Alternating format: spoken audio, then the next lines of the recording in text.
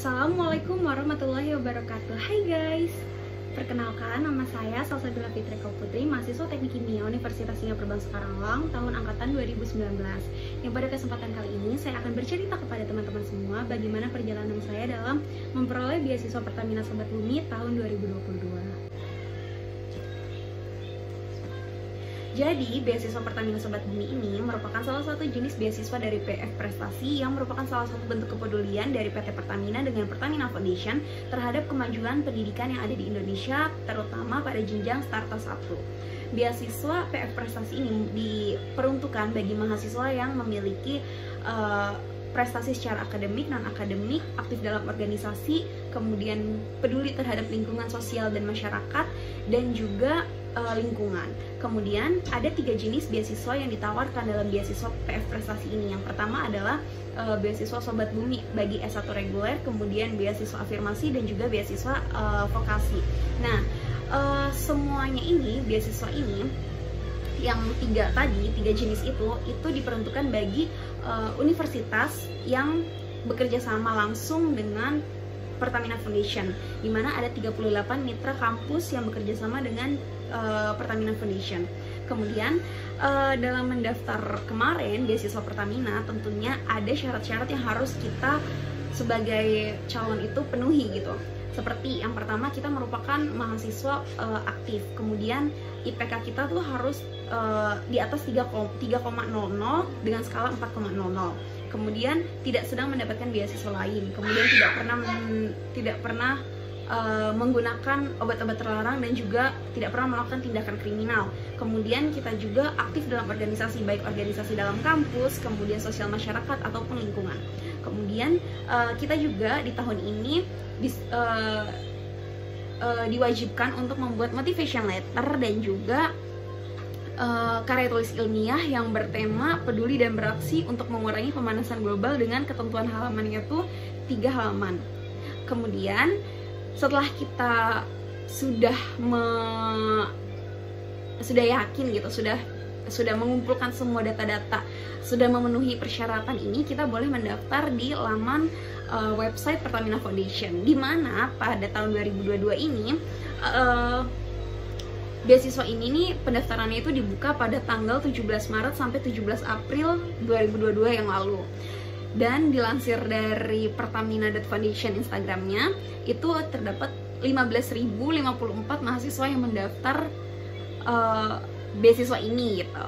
Nah terus uh, setelah setelah kita mengapply semua data-datanya itu nanti kita nunggu sampai kalau nggak salah kemarin tuh nunggu di di bulan Juni di bulan Juni tanggal 17 itu ada pengumuman lolos seleksi administrasi. Administrasi itu ada seleksi yang pertama tadi kan yang sudah kita mengapply berkas-berkasnya.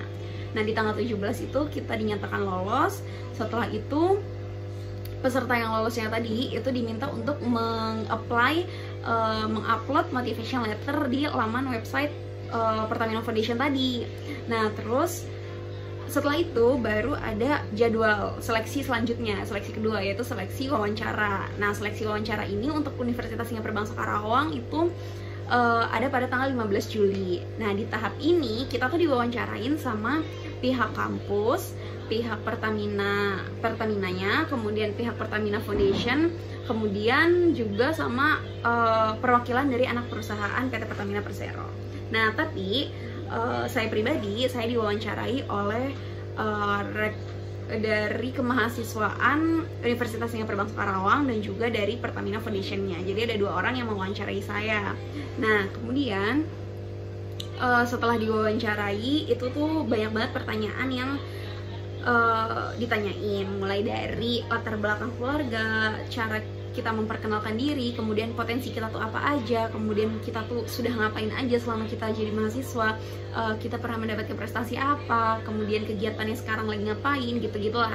Nah terus kita juga uh, disuruh kayak uh, jelasin apa sih karya tulis yang telah kita buat tadi gitu. Nah terus setelah udah diwawancarain di tanggal 15 Juli itu uh, kita tuh nunggu lagi. Nah pas wawancara itu saya sempet kayak ngerasa gugup banget karena baru pertama kali saya merasakan wawancara beasiswa gitu kan. Apalagi ditontonnya sama di dinilainya langsung sama pihak rektorat dan juga Pertamina Foundationnya gitu.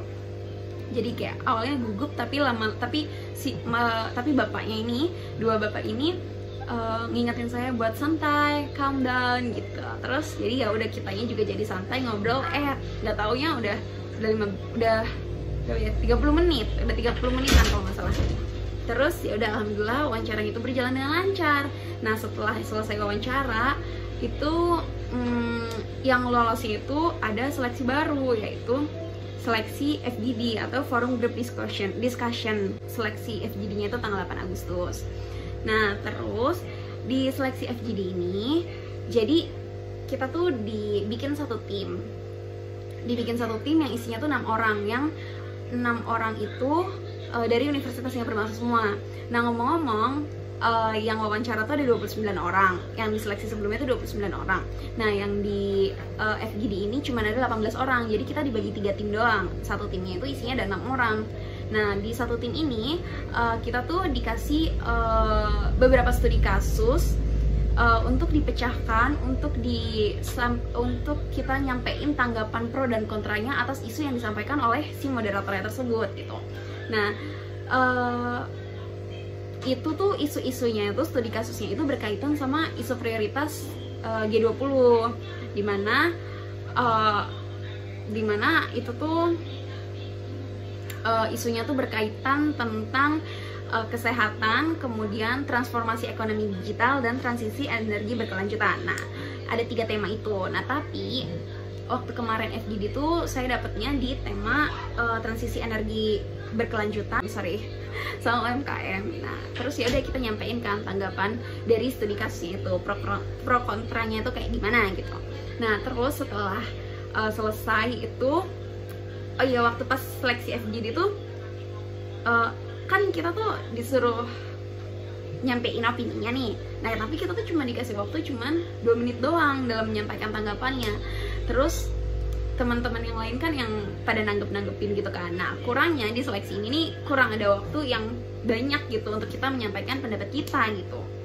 Nah terus saran juga buat teman-teman yang nantinya ikut FGD uh, eh, kalau bisa teman-teman menyampaikan uh, apa pendapatnya itu berdasarkan data dan fakta yang ada gitu. Apalagi kalau misalnya kalian uh, ada pengalaman dari studi kasus tersebut sampaikan aja gitu. Jadi supaya lebih meyakinkan gitu. Nah, kemudian setelah nunggu di tanggal 18 Agustus, kita tuh dapat informasi siapa aja yang keterima. Nah, alhamdulillahirobbilalaminnya, saya Salsabila Fitreko Putri dari Teknik Kimia ada tuh di nama uh, penerima beasiswa. 11 orang penerima beasiswa yang dari uh, Universitas Singapura Bangsa Karawang. Nah, terus alhamdulillahnya ya udah keterima. Rasanya nggak tahu lagi rasanya kayak yang bersyukur banget tentunya. Tentunya bersyukur banget berterima kasih banget. Karena perjalanan beasiswa ini perjalanan terlama yang pernah saya lakuin. Karena selama lima bulan saya nunggu beasiswa ini gitu dari seleksi administrasi sampai ke FGD sampai ke pengumuman terakhir itu totalnya tuh hampir hampir eh, lima bulan jalan lah lima bulan jalan.